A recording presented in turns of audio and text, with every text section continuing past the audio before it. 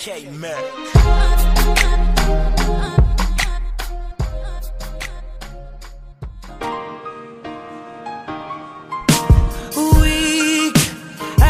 grind and grind for weeks.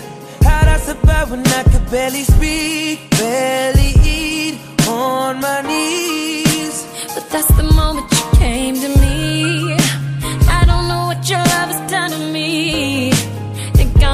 Invincible. I